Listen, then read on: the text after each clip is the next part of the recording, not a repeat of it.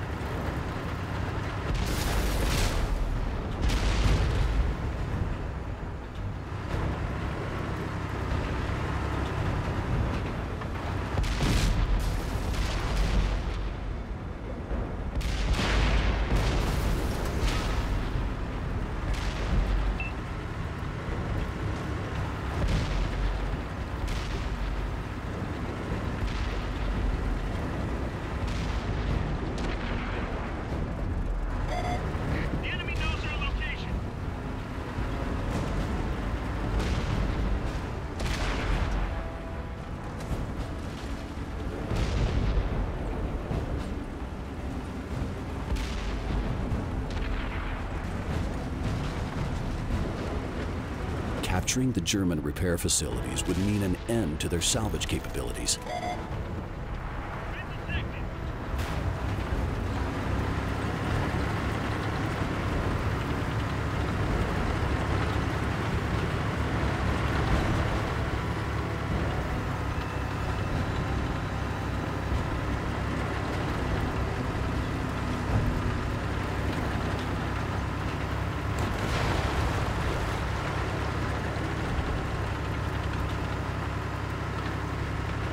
London would continue to be bombed into submission whilst the Germans held the airfield. Edwards had to capture it.